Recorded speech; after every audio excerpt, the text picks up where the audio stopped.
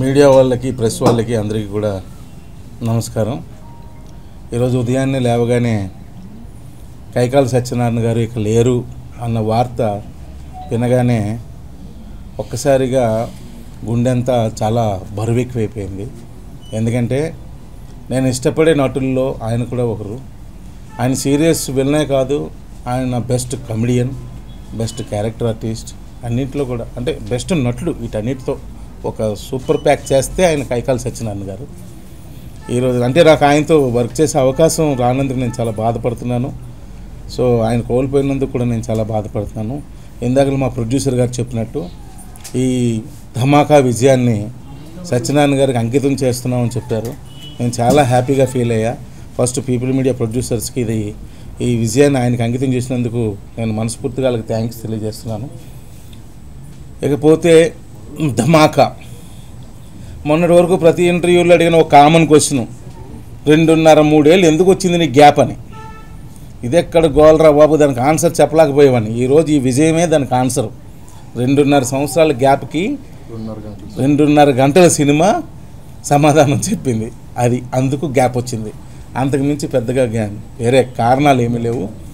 And at the same time చాలా రోజుల తర్వాత ఈరోజు మా బ్లాక్ టికెట్స్ అమ్ముతున్నారు థియేటర్స్లో. ఆన్లైన్ వచ్చిన తర్వాత ఈ బ్లాక్ టికెట్స్ సిస్టమ్ పాపం పడిపోయింది.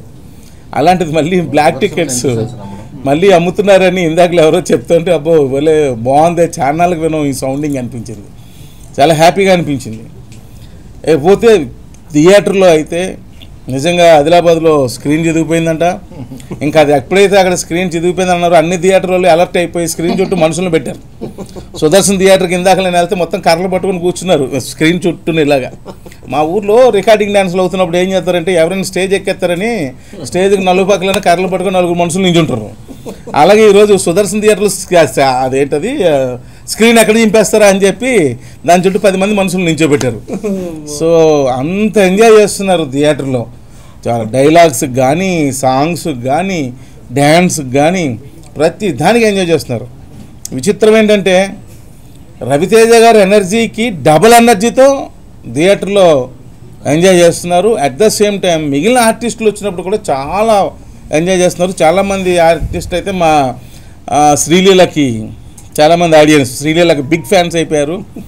సో ఎనీహౌ అంటే చాలా గట్టిగా అరిచి ఈ సక్సెస్ ఈ సక్సెస్ని షేర్ చేసుకోవాలని ఉంది కానీ బట్ ఎక్కడో తెలియని గుండెల్లో సత్యనారాయణ గారు లేదు అన్న విషయం బాగా కలిచివేస్తుంది నన్ను. సో అందుకే డెఫినెట్గా కొంచెం టైం పడుతుంది కానీ బట్ అరుస్తా అరిచి ఈ సక్సెస్ని నేను షేర్ చేసుకుంటా. బట్ ఎంత పెద్ద సక్సెస్ ఇచ్చినా ప్రేక్షకు దేవుళ్ళందరికీ కూడా పేరు పేరున నేను నా